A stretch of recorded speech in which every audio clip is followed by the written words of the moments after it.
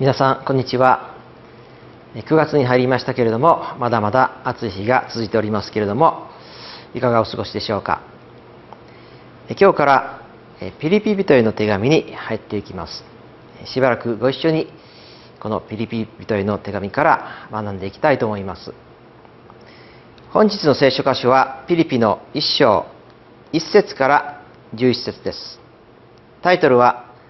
キリストの愛の心を持っていますか？です。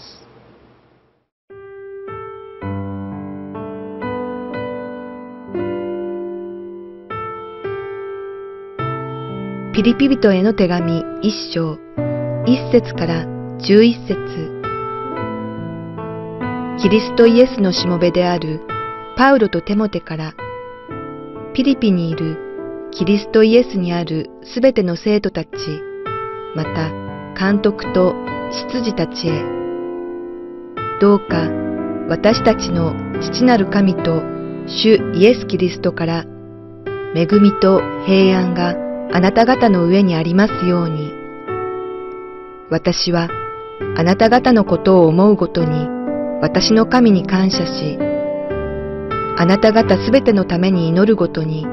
いつも喜びを持って祈り、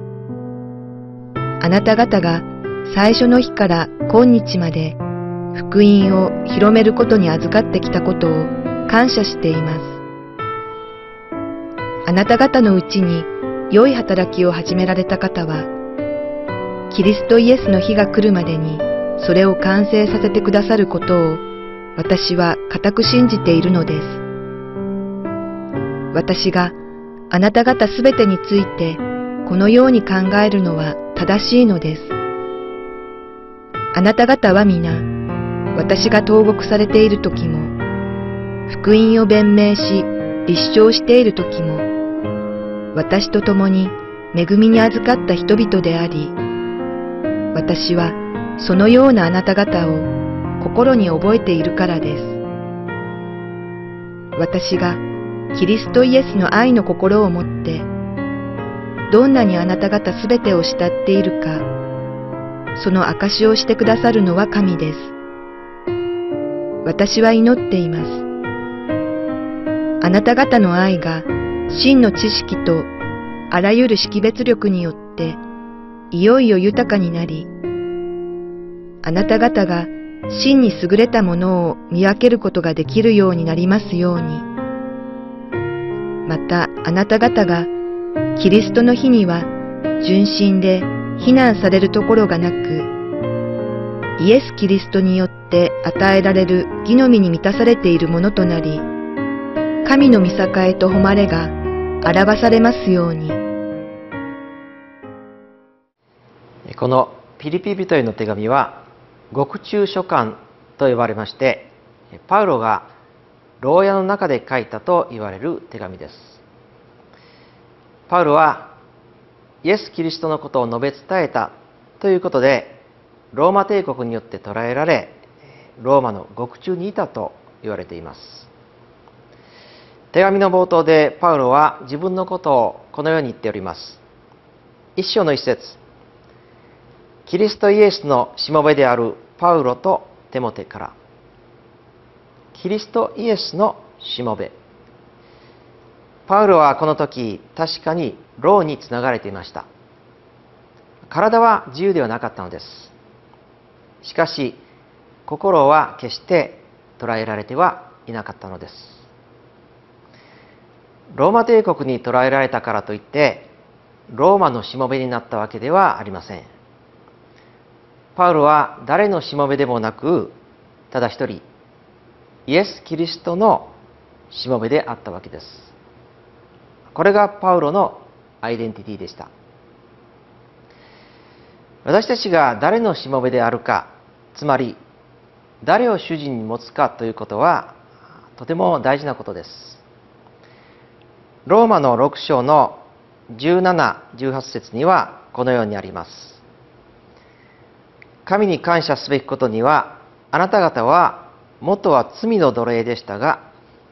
伝えられた教えの基準に心から服従し罪から解放されて義の奴隷となったのです。罪を自分の主人に持つか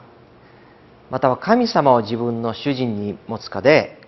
その人の人生が変わってくるのです。3節から5節までパウロはピリピの教会の兄弟姉妹たちに対する感謝を述べています。それはピリピの教会員たちが福音を広めることに努力してきたからです。パウロにとって何よりも嬉しいことは教会員一人一人が福音を伝える働きをしてくれることでした。パウロ一人がいくら福音を伝えることに奮闘していても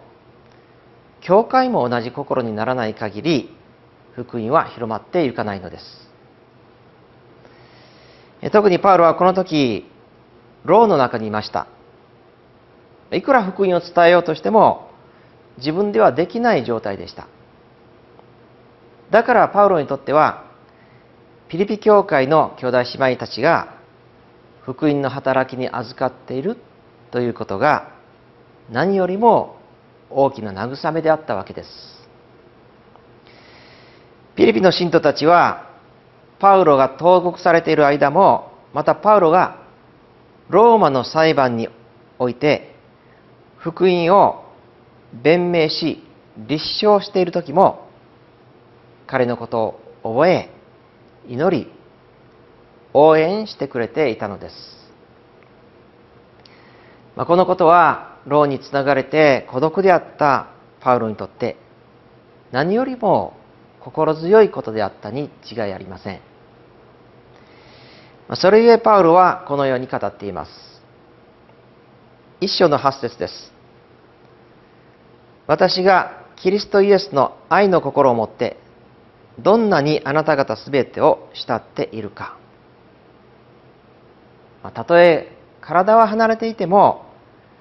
クリスチャンたちはキリストイエスの愛を持って互いに愛し合うことができるのです。これがクリスチャンの間に見られる麗しい関係ではないでしょうか。そしてパウロはさらにピリピの信徒たちのために祈っています。それは9節から11節に書かれている通りです。その祈りとはまず彼らの愛がますます豊かになるようにと祈りました、えではどうすればピリピの教会員たちの愛が豊かになるのでしょうか。それは真の知識と識別力によってと書いてあります。真の知識というのは御言葉から来ます。そして識別力というのは精霊によって養われるものですそしてピリピの信徒たちが真に優れたものを見分けることができるようにとパウロは祈るのですま、これは今日私たちにとっても言えることではないでしょうか。まあ、私たちの中においてもこの今の時代というのは価値観というのが非常に多様化しているわけです。そのような時においてこそなおさら真に正しいものを見分けるというのが大事であると思います。数あるもののうちから本当に自分自身で真に優れたものを見分けていくということその力を身につけるということこれは大人の自立したクリスチャンの目標とする姿ではないでしょうかまた10節と11節ではこのようにありますまたあなた方がキリストの日には純真で非難されるところがなくイエス・キリストによって与えられる義の実に満たされているものとなり、神の見境と誉れが表されますように。これは一言で言うならば、キリストの栄光を表すものとなるようにということです。まあ、この言葉の最後にあるように、神の見境と誉れが表されるようにという言葉がまあ、一つの結論でもあるわけです純真であること非難されないこと義の身に満たされることそして神の見境と誉れが表されることこれらの向かっている目標というのはただイエス様の栄光を表すことなのです、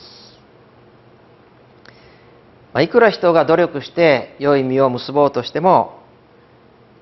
もし神の栄光を表すという目標からそれてしまうならばどうでしょうか。それはただ自分の栄光のためと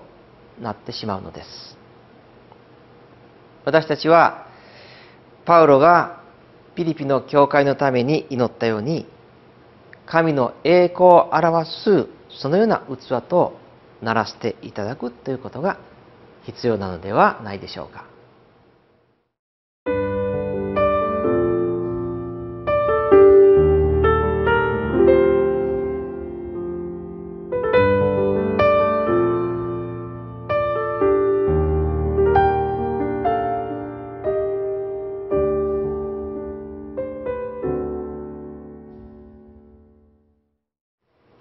私たちも神の栄光を表す器とさせてならせていただきましょう。お祈りいたします。天のお父様感謝いたします。私たちは時には困難試練があります。しかしパウロは獄中の中にいた時も喜びを持ちました。それは福音が伝えられあなたの栄光が表されるからです。そしてパウロは何よりも神の栄光が表されることを自分の目標としまた喜びとしました。どうぞ私たちもそのように生きることができるように導いてください。自分の栄光のためではなく、あなたの栄光のために物事を行っていくことができるように、どうぞお助けください。主イエス・キリストの皆によって感謝してお祈りいたします。アーメン。